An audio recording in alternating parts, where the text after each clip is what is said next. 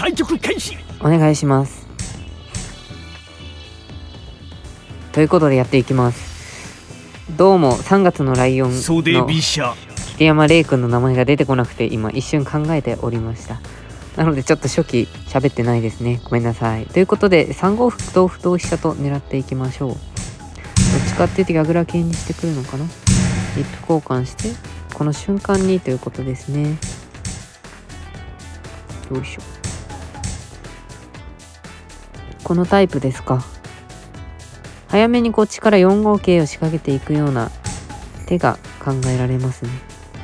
突き越されるとそれでも7六はつけるんですけどつきづらくなるので。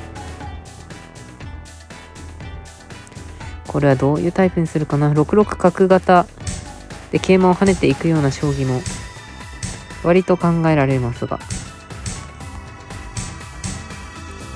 これは結構すでに指しやすい気がしてます。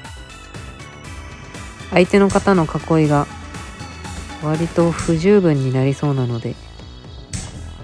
うん。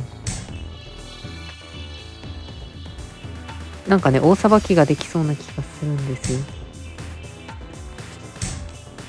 あ違うな。間違えた。2五桂だな。2五桂でよかった。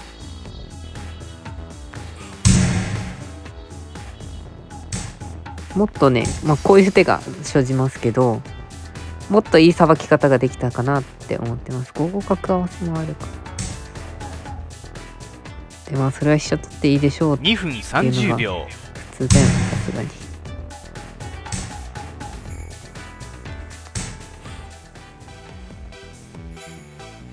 まあ桂馬取っていいですよと。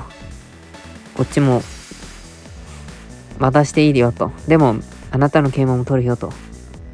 そういうことをしていきます。じゃあ逃げるなら。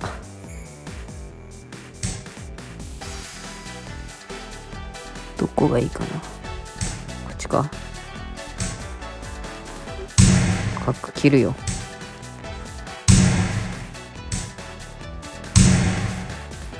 ゲ。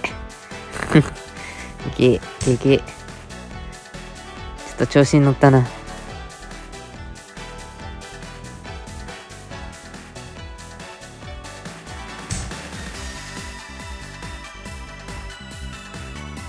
局面がすごいいいんでちょっと調子に乗っちゃった。2分。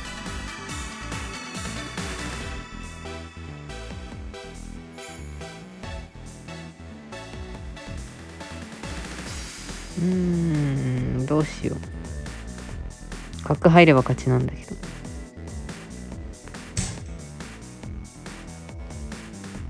うわーちょっと調子に乗ったな。本当に。局面的にめちゃくちゃ良かったじ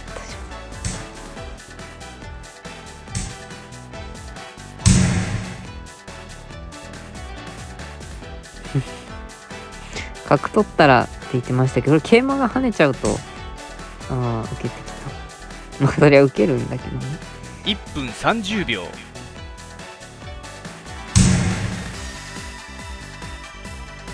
桂馬取っても詰むんですよ。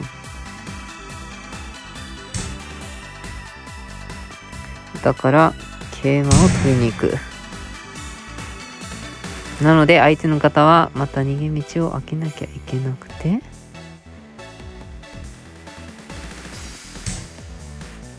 そうすると詰んじゃうと3期やって進まないことはないんですね。ありがとうございました